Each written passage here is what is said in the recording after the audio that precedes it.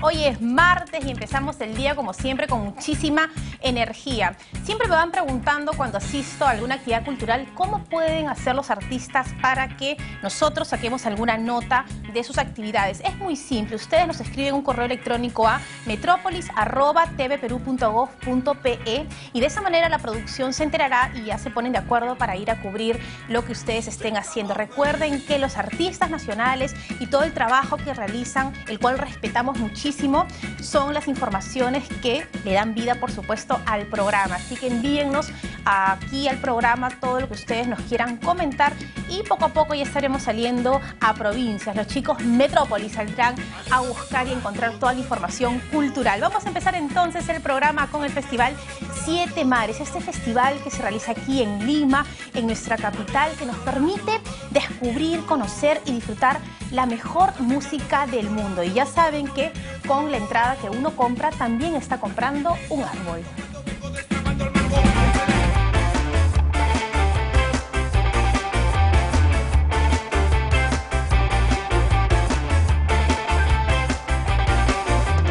Hola amigos de Metrópolis, aquí estamos en las oficinas de Cernícalo preparando el Festival Siete Mares, que se viene este 26 de abril en el Parque de la Exposición, desde la 1 de la tarde hasta las 2 de la mañana.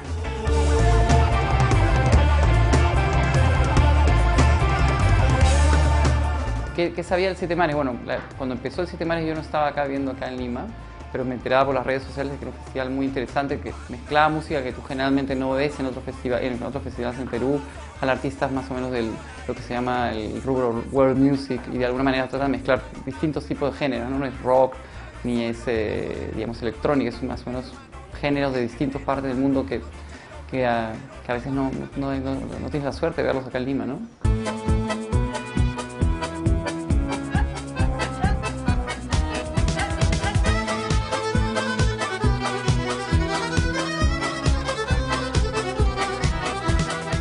Lo que nosotros queremos es que, primero, que la gente sienta que el festival es el festival de la gente, no es nuestro festival. Estamos nosotros como haciendo la curaduría, escogiendo los grupos, pero la gente tiene que saber que cuando va al Siete Mares va a escuchar todo, realmente música muy bien escogida, de mucha calidad.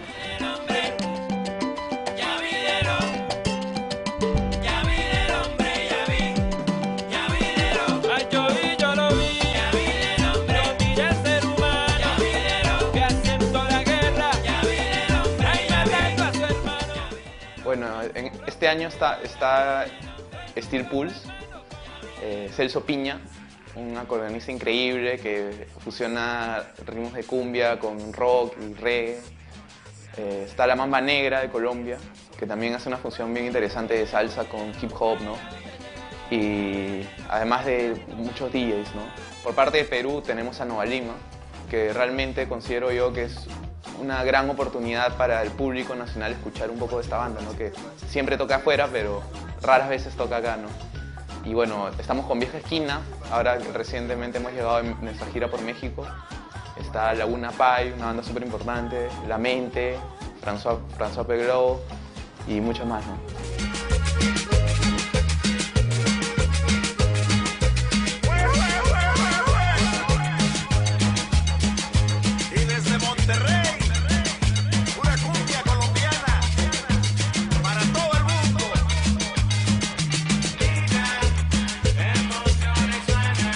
Creo que este festival, ese tercer festival, ya realmente va a marcar el camino de, la intención de los siete mares, ¿no?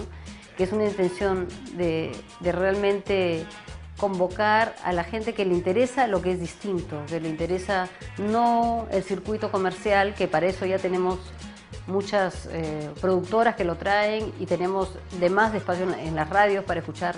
Lo que nosotros tratamos es de traer música buena y pues esa cultura es la que queremos compartir con los limeños.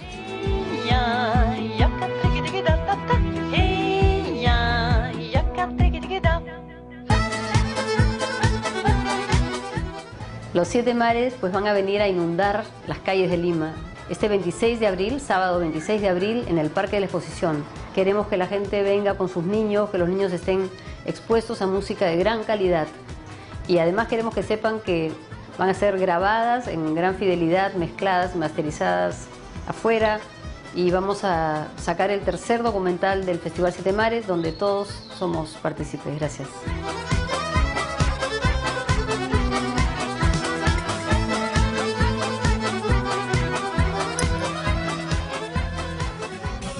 Una maravilla el Festival Siete Mares. Uno puede disfrutar de la mejor música de todo el mundo y conocer a los grupos que están en estos momentos sonando muy fuerte en las radios y los que se presentan en los conciertos en diversas partes de eh, las ciudades más importantes del planeta. Así que ustedes no se pierdan el Festival Siete Mares. Y además que ya lo saben con la entrada que uno paga, está contribuyendo a arborizar la ciudad. Y por supuesto, felicitaciones a Pepita García Miro, que siempre nos trae propuestas de muchísima calidad. Ahora sí, nos vamos con el regreso de los Locos Adam, porque, bueno, este musical tan divertido que nos trae la historia y la vida de una de las familias más delirantes de los Estados Unidos, como son los Locos Adams, vuelve al Teatro Marzano.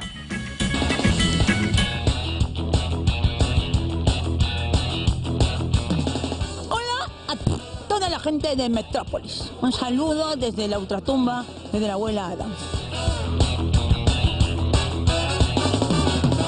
Sí, bueno, reestrenamos. Este, después de cuatro meses de, descanso, estamos, estábamos con ganas de, lanzar este musical. Eh, de hecho, tomamos la decisión de lanzarlo a fines de diciembre. Dada la gran respuesta del público, hemos recibido a más de 17.000 espectadores aquí en el teatro, en 34 funciones. Y es por eso que nos hemos este, decidido por hacer esta segunda temporada, un poquito más corta, eh, una, una corta reposición de 20 únicas funciones. Así que es la última oportunidad para poder disfrutar de este espectáculo de Broadway puesto aquí en, Lima, ¿no?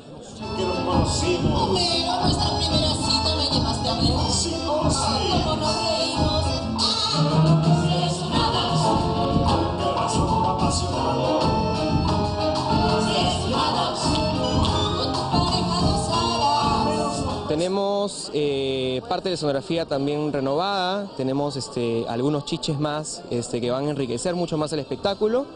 Em, tenemos actores invitados nuevos también, tenemos un, equipo de, un ensamble, un, un equipo de baile eh, también renovado.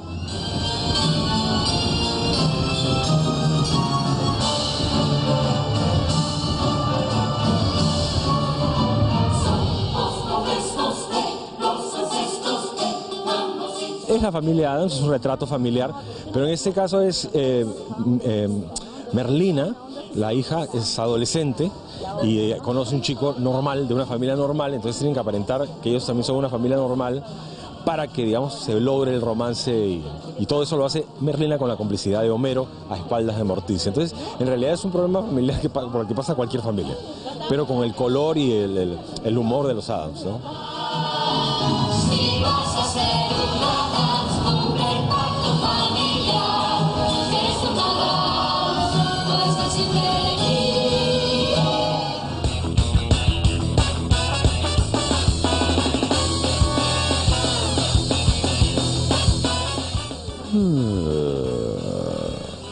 Ya saben, traducción, vengan a vernos a partir del 9 de abril en el Teatro Marzano de miércoles a domingo, 8 de la noche, domingos a las 7.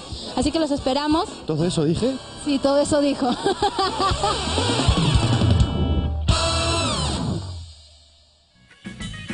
extraordinaria la presentación y el trabajo de Domenico Poi, muy joven él, que hace la producción y dirección de Los Locos Adams y por supuesto los protagonistas geniales, Diego Berti y Fiorella Rodríguez. Un beso para todo el elenco y ustedes no se pierdan Los Locos Adams. Ahora sí, nos vamos con otro tema porque hay un joven guitarrista que desde muy pequeño quería él eh, tocar la guitarra y con mucha pasión. Y cuando nosotros le hemos preguntado quiénes han sido sus referentes, eh, nos ha dicho que Paco de Lucía y don Oscar Áviles. Quiero que conozcan a este joven talento que tiene la pasión, que es la guitarra, como es Giancarlo Vázquez.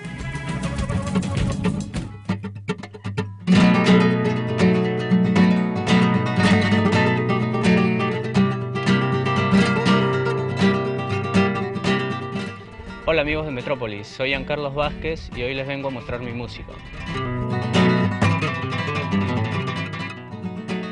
Yo me dedico a la guitarra desde hace más o menos cuatro años Me influenció mucho haber escuchado a Paco de Lucía porque me pareció excelente su estilo, su toque y también a otros guitarristas, ¿no? como Álvaro Lagos, Óscar Avilés, músicos de aquí del Perú.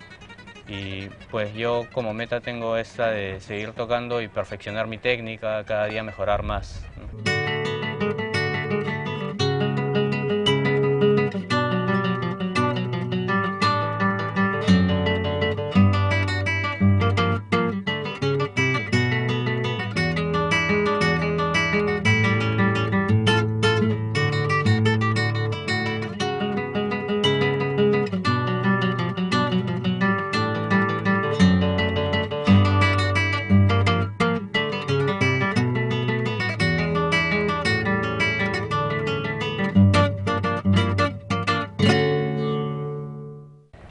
Tenido la oportunidad de cruzarme con otros instrumentos y he tocado un poco a... No, no tanto los he practicado, pero sí cuando toqué la guitarra por primera vez me di cuenta que era lo mío porque me entendía muy bien con ella y me daba cuenta que podía avanzar rápido con la guitarra.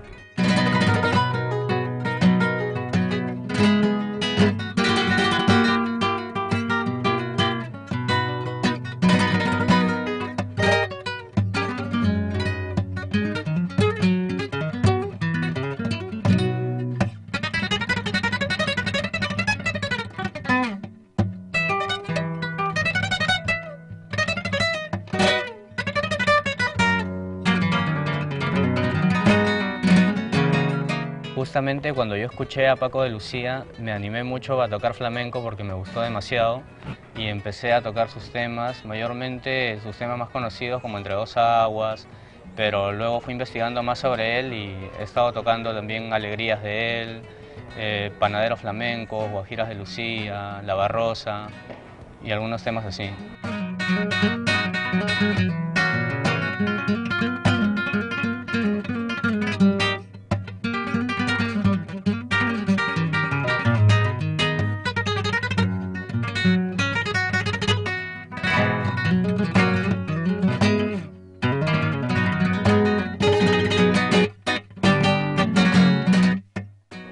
Amigos de Metrópolis, a todos los que quieran conocer un poco más acerca de mí, pues les invito a que nos visiten en la página de Facebook, Giancarlos Flamancia Fusión, o también nos pueden buscar en YouTube como Flamancia o Giancarlos Vázquez.